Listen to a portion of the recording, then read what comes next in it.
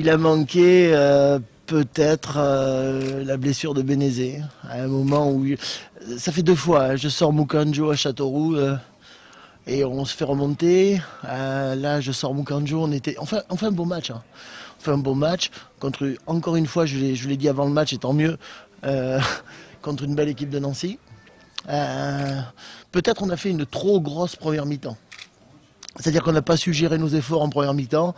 On a, je pense qu'on l'a survolé la première mi-temps, comme on a été survolé pendant la, deuxième mi-temps. Et 1-0, euh, c'était pas assez peut-être pour, euh, pour les efforts qu'on avait consentis. Euh, après, après, ça a été un, un petit peu un détail, et c'est ces détails peut-être qu'il va falloir changer dans les semaines à venir.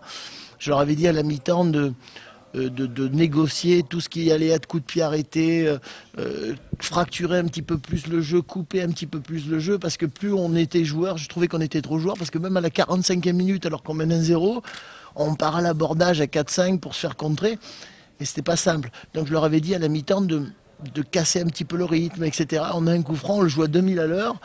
alors, en plus, on le joue à 2000 à l'heure, et puis Sidibé, il va ailier, droit. On se fait contrer, on prend l'égalisation à ce moment-là. Même si sur l'ensemble du match et sur, euh, sur leur valeur euh, Ligue 1, ils, méritaient euh, amplement l'égalisation. Après, après c'était dur. Après, c'était dur. J'ai essayé de, renforcer un petit peu le milieu. Gigliotti, qui n'a pas joué depuis longtemps, 120 minutes, c'était beaucoup. John Haïté, avec le travail qu'il fait à chaque match, 120 minutes, c'est beaucoup. Benji Mukanjo, je me demande comment il fait à faire 90 minutes déjà. Euh, quand il fait euh, autant d'efforts, etc. Euh, non, je crois que j'ai rien à leur reprocher. Ils ont été, ils ont été super et c'est un vrai match de coupe. moi, je suis très satisfait. Voilà, je suis content ce soir quand même de, de